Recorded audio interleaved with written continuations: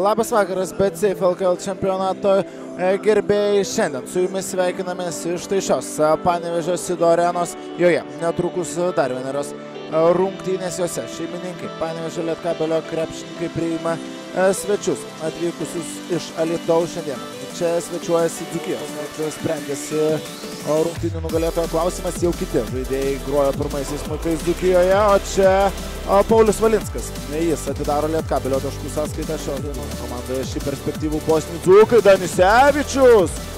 Vienas pats dabar traukęs gynėsi Kanteris, o Stepas Bobrauskas atstovi čia prieš Saulių Kulvėti, Valinskas po driblingo du taškai. Ryto kuriam laikui iš rykiuotės, o tačiau sugrįžo. Matas Jogėlė, Jasaitis, antrasis jo taiklus tolimas metimas. Žalgiris.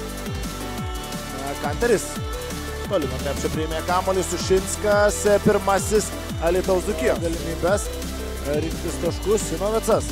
Čekarevičius, šis iš trijų taškų zonos ir Lietkabelio snaiperiai šiandien. Dabar Sušinskas, likęs gintis prieš Žygą. Tačiau Čekarevičius nusprendžia krepšį atakuoti pats, suteikia Dzūkai. Elija Braunas. Petrilevičių, čia gerai, ateina dar į pagalbą Žygo Dimetsas. Dabar, sakyčiau, Vilsonas yra ryškiausias žmogus panevežyje, jis ir meta iš trijų taškų zonos ir Džamaras Vilsonas pratėse sėkmingą savo seriją. Dar galima sėti šiuo metu tik su Lietkabeliu. Matas Jogėla vis dar priklauso. Žalgiriui jis yra paskolintas Dzūkams, Jogėla dabar iš trijų taškų zonos ir tai yra pirmasis. Pirmasis Alitaus klubo tritaškis, Emusio perdavimas, kurį atspėja Saitis Valinskas ir du Pauliaus Valinsko taškai, Lietkabelis artėjant antrojo kėlinio pabaigai. Gana daug jam prie trijų taškų linijos palieka Jogėla, dabar jau Petrilevičius kyla aukštyn, Valinsko labai sunkus metimas, tačiau su intencija, jog a, viskas bus taip, kaip atsitiko, kad Čekarevičius 40-36 ir drįstu teikti, jog mūsų laukia labai intriguojanti ir įdomi antroji rungtynių dalis. Rungtyniauti šiandien. Bobrauskas, jo metimas po pertraukos iš karto. Stepas pelno du taškus, beje Saitis. Toks Lietkabelio penketas trečio kėlinio pradžioje. Sinovico perdavimas Kupšui. Kupšas sugauna kamolį ir pelno taškus. Per pirmosius du kėlinius į pagalbą. Bobrauskas, kairę pusę. 7 sekundės duko atakai ir Petrilevičius priima kamolį prieš Sinovecą, tačiau atšokdamas atgal, net ne į priekį. Kulvėtės. O Kupšui ir dabar jau tie perdavimai Mindaugą pasiekė. Kas ir neleido priimti kamolio Turkui, Sušinskas.